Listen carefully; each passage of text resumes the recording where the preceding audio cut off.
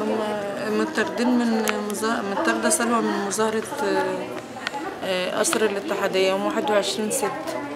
سلوى وغالبية الناس عارفاها شغالة في الإنسانيات يعني لا مع ده ولا مع ده. إحنا مش مع حد. إحنا مع إن الإنسان يبقى له كرامة ويبقى محترم في البلد. بس إحنا كل اللي إحنا عايزينه البلد إنها تبقى بلد محترمة ومتقدمة وكويس. التعدي على الأمن تكسير المحلات. أنا بنتي دي طولها 150 سم وزنها أقل من 50 كيلو. يعني تشوفيها كده حاجة يعني أقول اسألي الناس عليها أنا مش عشان هي بنتي. يعني شغالة في الإنسانيات ما بتسيبش حد. من أول أطفال الشوارع لحد أي حد مصاب أي حد تعبان أي ما تسيبش أنا بروح أزورها يقول لي يا ماما اسألي على فلان اسألي على فلان اسألي على طنط كانت طلباني أكيد كانت عايزة حاجة اسألي على ما أعرفش مين مصاب. يعني قبل ما تقولي ازيك سألت يا ماما على الناس اللي أنا قلت لك اسألي عليهم. عايزة أقول وبوصي ولادي وبوصي كل الناس إن وطن لا نحميه لا نستحق أن نعيش فيه. الجندي على أرض على الحدود بيدافع عن مصر. الموظف المحترم بيدافع عن مصر. اللي بتربي ولادها يبقوا صالحين برضه بتدافع عن مصر. اللي ما يرميش زبالة في الشارع بيدافع عن مصر. اللي ما يلوث النيل. والله العظيم بنتي عمرها ما رمت منديل في الشارع. قولوا لي إزاي ديت هتتعدى على الأمن ولا هتعمل حاجة ضد مصر؟ قولوا لي بس. قولوا لي حد يقول لي أنا مادة ايدي بالسلام لكل الناس وكلنا اخوات أرجوكم أنا ما عنديش إلا بنتي دي. مش عارف. أنا نفسي يطلعوا يوم 13 9 نفسي بنت تطلع وتكلم من رسالتها. حاولتش تروحي لأي منظمة حقوق إنسان.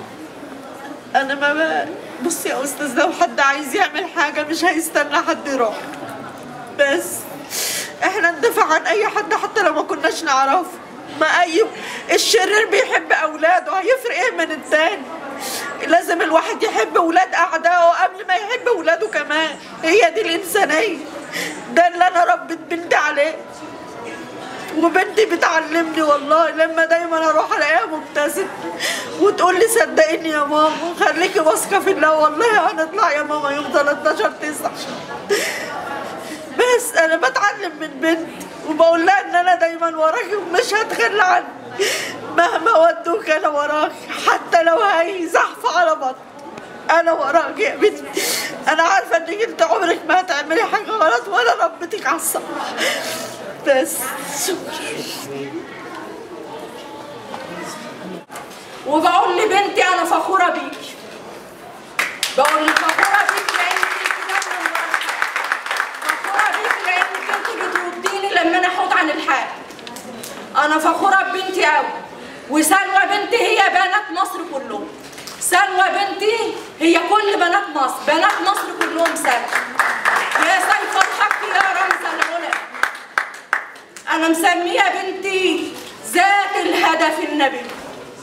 ملهاش دعوة بحد ولا مع حد ولا ضد حد. هي مع العدل والحق بس. الصوت الحر اللي أيقظ الصدى. الناس دلوقتي بتقول هم إيه اللي وداهم؟ زي اللي قالوا زمان برضو إيه اللي وداهم؟ ما زال إيه اللي وداهم دي موجوده بس لما كانوا طلعوا غلطوا اللي قالوا مين اللي وداهم هم اللي ما عدتش سامعة صوتهم الاستاذه بوسينه كامل مش سامعة صوت خالص. الأستاذة بتاعت أمينة المرأة دي الأستاذة ميرفت التلاوي هي بنتي دي بقى إن شاء الله مش من المرأة ولا إيه؟ اللي أنا بنتي اللي عشانها ما رحتش مرة مصيف ولا رحت مرة فرح ولا رحت حتى مرة ميت. كان أهلي يقولوا لي تعالي زورينا أقول لهم أنا بكافح عشان أربي عيالي كويس. أنا سلوى بنتي ديت والله العظيم أنا بحلف ان يكاد تكون عمرها ما رمت منديل في الشارع. إحنا بنخاف على البلد دي أو بنحبها أو بيعملوا معانا ليه كده؟ ليه؟ لما واحدة زي ديت بالعلم ده أنا فنيت حياتي عشان أربي عيالي أربيهم محترمين وأعلمهم كويس.